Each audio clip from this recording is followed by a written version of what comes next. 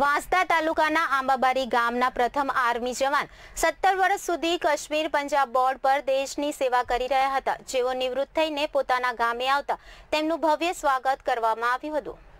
ભારતીય સૈનિક પોતાના જીવના જોખમે આપણા વતનને સુરક્ષિત અને સ્વતંત્ર રાખે છે. એમની નિષ્ઠા અને કર્તવ્ય ભાવનાને આખો દેશ સલામ કરતો હોય છે.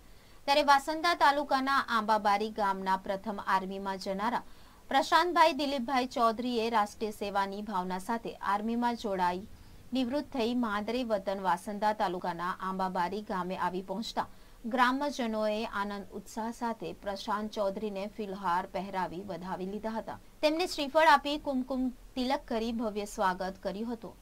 તેઓની રાષ્ટ્ર સેવા માટે મળેલ તકને તેઓ ગૌરવપૂર્ણ માને છે. આજે પણ તેઓ સરહદ ઉપર ફરજ બજાવવા સક્ષમ છે. અને રાષ્ટ્રની સેવા કરવાની તમન્ના ધરાવે છે. રાકેશ દુબે સાથે સીએન ટ્વેન્ટી ફોર ન્યૂઝ વાસંદા.